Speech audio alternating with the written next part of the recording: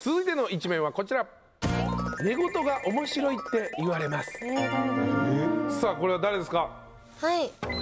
あ私田村。はい、私なんですけど、でも私が言ったわけじゃなくて、はあ。なんかかりんちゃんに面白いって言われたんですけど、あのなんか寝言のを撮るアプリで撮ったやつをそうか。田村から聞かせてもらってすごい大爆笑した思い出があるのでぜひ聞いてほしいなって。ででも田村は自覚ないわけだもんね。全くないです寝ね。てるもんね。寝てるから。ということで実際に録音したものがあると。あ今回。なので早速聞いてみましょう。お願いします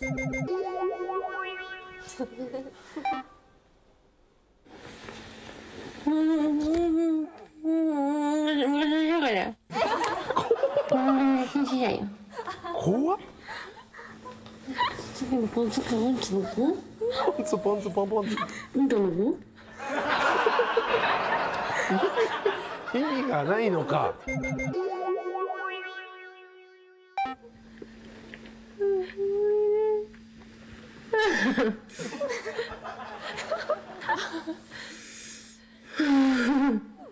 いやでかいななるほどね。なるほどね言ったね納得したな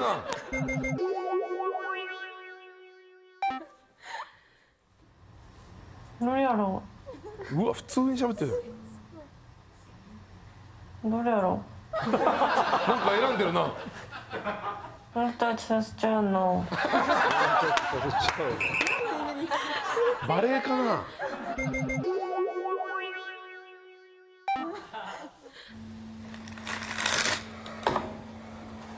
なんで？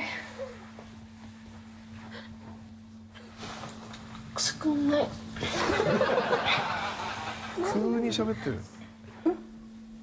完全にこっち。うわ